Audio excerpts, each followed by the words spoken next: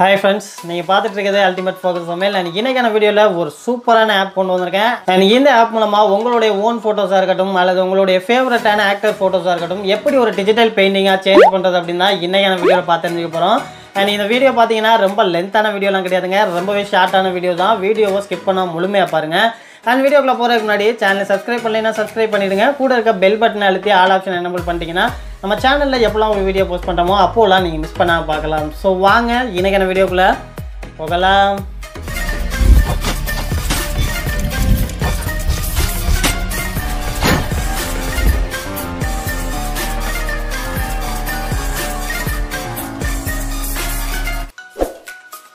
And okay friends இந்த அப்ளிகேஷனுடைய link பார்த்தீங்க அப்படின்னா கீழே டெஸ்கிரிப்ஷனில் கொடுத்துருக்கேன். லிங்கை கிளிக் பண்ணி டவுன்லோட் பண்ணி இன்ஸ்டால் பண்ணிக்கோங்க. அண்ட் இன்ஸ்டால் பண்ணதுக்கப்புறம் இந்த ஆப்பை ஓப்பன் பண்ணீங்க அப்படின்னா இந்த மாதிரியான ஒரு இன்டர்ஃபேஸ் தான் இருக்கும். இதில் ப்ரோ எடிட்டிங் அப்படிங்கிறத வந்து கொடுத்துக்கோங்க.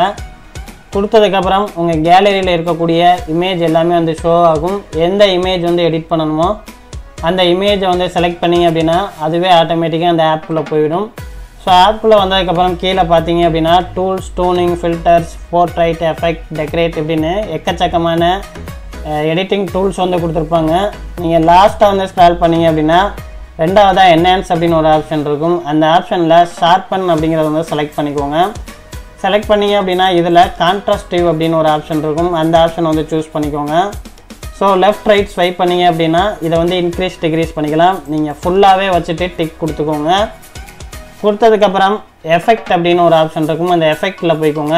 இதுலேயும் லாஸ்ட்டாக ரெண்டாவதாக சாஃப்ட் ஸ்மெச் அப்படின்னு ஒரு ஆப்ஷன் இருக்கும். இந்த ஆப்ஷனை கொடுத்தீங்கன்னா இதுலேயும் நிறையா ஸ்மெச் ஃபில்டர்ஸ் வந்து கொடுத்துருப்பாங்க. நீங்கள் லாஸ்ட்டாக இருக்கக்கூடிய ஃபில்டரை வந்து செலக்ட் பண்ணிக்கோங்க.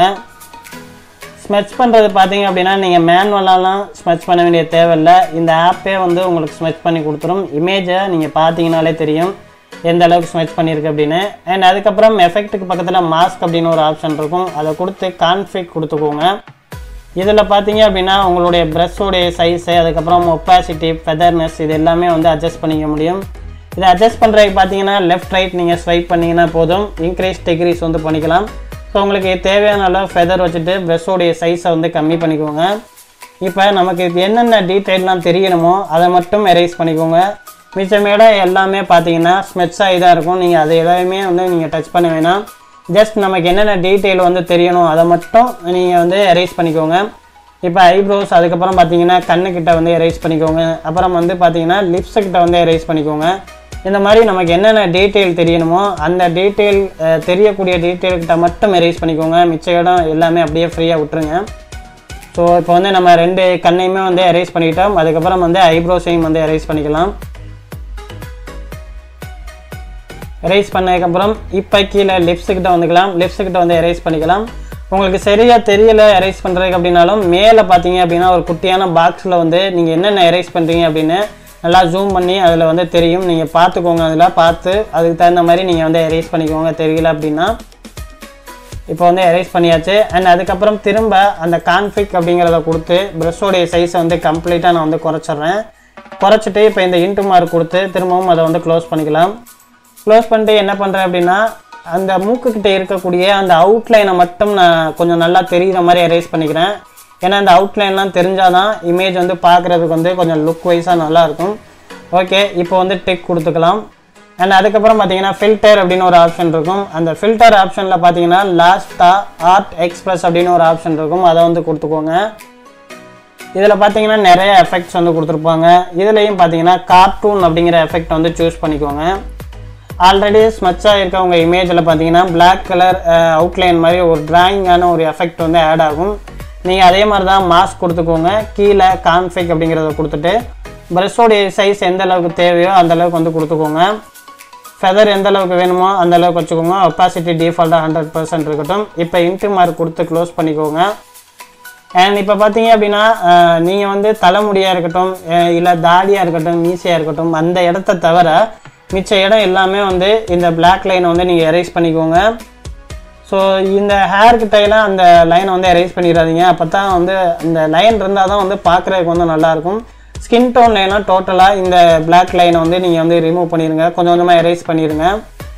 அதே மாதிரி ஷர்ட்லேயுமே உங்களுக்கு தேவையில்லை. இந்த பிளாக் அவுட்லைன் வந்து இந்த ஷர்ட்டில் இருந்துச்சு அப்படின்னா அதையும் வந்து நீங்கள் எரேஸ் பண்ணிக்கோங்க.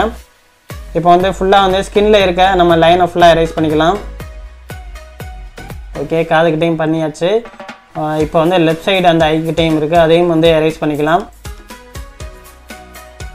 இமேஜை வந்து நல்லா வந்து ஜூம் பண்ணி பார்த்துக்கோங்க. அப்போ தான் அந்த பிளாக் லைன் பார்த்தீங்கன்னா சின்ன சின்ன டாட் டாட்டாக இருக்கும். அது வந்து உங்களுக்கு தெரியாது.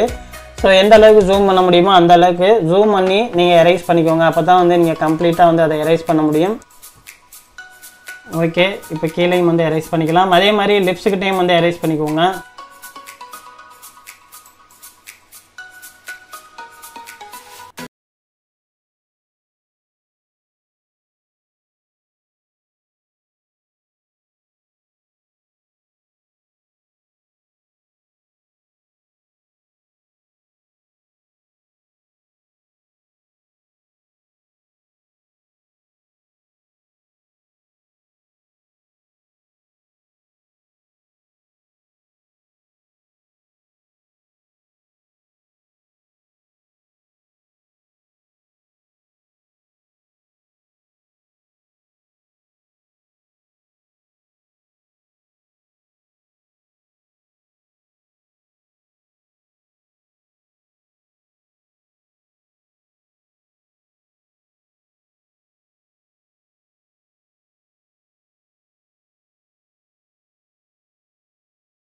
பண்ணிக்கோங்க கீழே இருக்கக்கூடிய கான்ஃபை கிளிக் பண்ணிவிட்டு ட்ரெஸ்ஸோடைய சைஸ் எந்த அளவுக்கு வேணுமோ நீங்கள் வந்து வச்சுக்கோங்க.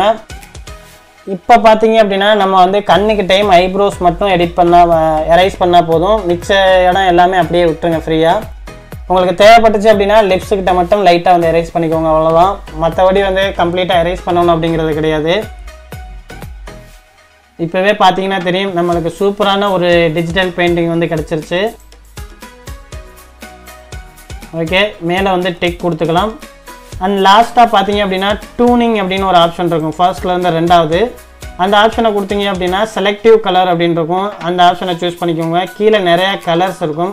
அதில் ஒயிட் கலர்ஸை சூஸ் பண்ணிவிட்டு மேலே மெஜந்தா அப்படிங்கிறத வந்து ஹண்ட்ரட் பர்சன்ட் வச்சுக்கோங்க. ஹண்ட்ரட் பர்சன்ட் வச்சுட்டு டிக் அப்படிங்கிறத வந்து கொடுத்துருங்க. அகைன் திரும்பவும் டூனிங் கிளிக் பண்ணிக்கோங்க. நேச்சுரல் சேச்சுரேஷன் அப்படின்னு ஒரு ஆப்ஷன் இருக்கும். அதை வந்து கிளிக் பண்ணிக்கோங்க. உங்களுக்கு சேச்சுரேஷன் வந்து எந்த லெவலுக்கு வேணுமோ அந்த லெவலுக்கு வந்து கொடுத்துக்கோங்க. உங்கள் இமேஜை பார்க்கும்போதே தெரியும். ஸோ எந்த லெவலுக்கு உங்களுக்கு தேவைப்படுதோ அந்த அளவுக்கு வச்சுக்கோங்க. நான் ஒரு ஃபிஃப்டி த்ரீ வந்து வச்சுருக்கேன். ஓகே இப்போ நமக்கு சூப்பரான ஒரு டிஜிட்டல் பெயிண்டிங் வந்து கிடச்சாச்சு.